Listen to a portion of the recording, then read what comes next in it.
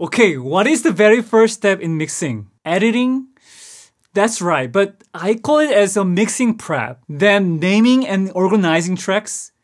Yes, but I call it as a mixing prep also. I do mixing prep before a mixing session so that I can concentrate on the real thing. If you spend a couple of hours into editing and go right into mixing, you can easily lose fresh perspectives because your ears are already adjusted while you are editing the tracks. Then what is the very first step in mixing? I believe gain staging is the very first step in mixing. I mean, real mixing. When it comes to gain staging in mixing or recording, people usually tell you do not clip the sources, channels, or plugins. Yes, this is true, but there is much more than that. If you do gain staging not just properly, but use as more like touching faders to balance the tracks, you can make your wanted sound easily. I will show you how to do gain staging in Pro Tools, Logic Pro X, and Ableton Live. But you must watch this video I made. It is about setting up your monitor levels related to a volume knob. It is the most important hardware setup that everyone can do easily. You can pause this video, check the link below, and don't forget to come back to this one.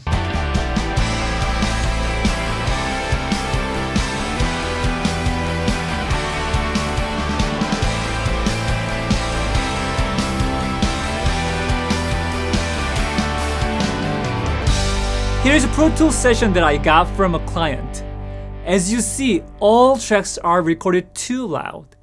The first thing I do is that set my volume knob around 11 to 2 o'clock, depends on the genre of the music. But please do not play those loud tracks right away, because it can blow your ears out.